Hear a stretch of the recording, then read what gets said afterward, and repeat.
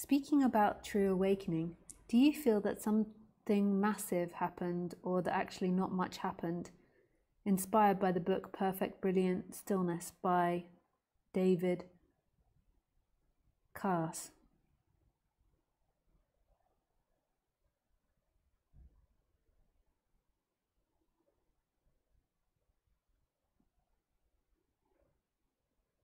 Yeah, I feel like something really massive happened. I don't know if that's a very good teaching, though. I'm sure this may be better to say that it's not much happens. But yeah,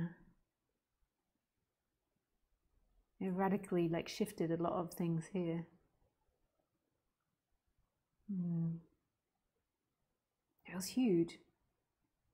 Non duality is the freedom, it's the most profound subject there is.